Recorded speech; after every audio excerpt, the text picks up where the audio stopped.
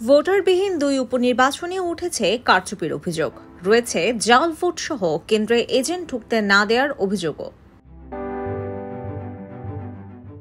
লক্ষ্মীপুর তিন আসনের উপনির্বাচনে ভোট গ্রহণ চলাকালে চার প্রার্থীর মধ্যে দুইজন ভোট বর্জন করেছেন। তাদের মধ্যে জাতীয় পার্টির মোহাম্মদ রাকিব হোসেন রোববার দুপুর দেড়টার দিকে ও জাকের পার্টির শামসুল করিম খোকন বেলা দুইটার দিকে লক্ষ্মীপুর প্রেস ক্লাবে এসে ভোট বর্জনের ঘোষণা দেন। জাতীয় পার্টির লাঙ্গল প্রতীকের প্রার্থী মোহাম্মদ রাকিব হোসেন অভিযোগ করে বলেন, নব্বই ভাগ কেন্দ্র থেকে আমাদের এজেন্ট বের করে দিয়েছে ক্ষমতাসীন দলের লোকজন। এছাড়া তারা জাল ভোট দিচ্ছে। সকাল থেকে ভোট কেন্দ্রগুলো ভোটার শূন্য, অথচ ভেতরে গিয়ে দেখা যায় ভোট পড়েছে। তাহলে এসব ভোট কারা দিচ্ছে? এই প্রার্থী আরও বলেন, এই নির্বাচনের নামে তাদের সঙ্গে প্রতারণা হচ্ছে, তাই এই ভোট বর্জন করেছেন। অন্যদিকে জাকের পার্টির গোলাপ ফুল প্রতীকের প্রার্থী শামসুল করিম খোকন বলেন, শুরু থেকে প্রশাসন তাদের সুষ্ঠু ভোটের আশ্বাস দিয়েছিল, কিন্তু এখন প্রশাসন নীরব। তিনি অভিযোগ করেন, ক্ষমতাসীন দলের লোকজন জাল ভোট দিচ্ছে। তাদের নেতাকর্মীরা কেন্দ্রে বল প্রয়োগ করছে। তাই ভোটের পরিবেশ না থাকায় আমি নির্বাচন থেকে সরে দাঁড়িয়ে ভোট বর্জন করেছি।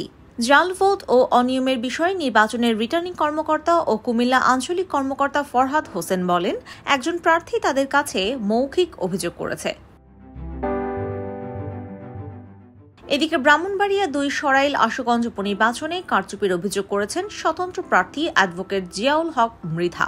বলেন, তাকে পরাজিত করতে ইলেকশন ইঞ্জিনিয়ারিং করা হয়েছে।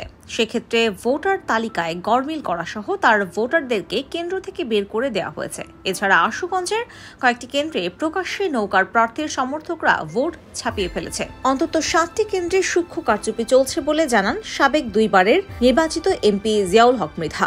তিনি অভিযোগ করে বলেন, সরাইলের প্রায় সবকটি ইউনিয়নের ভোট কেন্দ্রগুলোতে সরবরাহকৃত ভোটার তালিকা ত্রুটিপূর্ণ।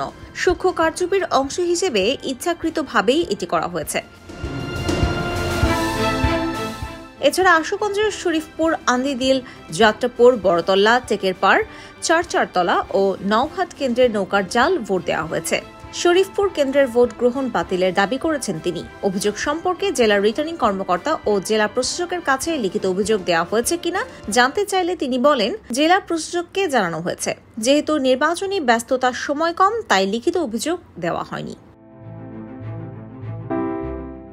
সহকারী রিটার্নিং কর্মকর্তা শ্যামল চন্দ্র বসাক বলেন, ভোটার তালিকা ত্রুটিপূর্ণ হওয়ার কোনো সুযোগ নেই। নির্বাচন কমিশন থেকে যে তালিকা তাদের দেয়া হয়েছে, সেই তালিকায় তারা ভোটের সরঞ্জামের সঙ্গে কেন্দ্রগুলোতে পাঠিয়েছেন। কয়েকটি কেন্দ্রে বিচ্ছিন্ন ঘটনার খবর পাওয়ার সঙ্গে সঙ্গে প্রয়োজনীয় ব্যবস্থা নেওয়া হয়েছে।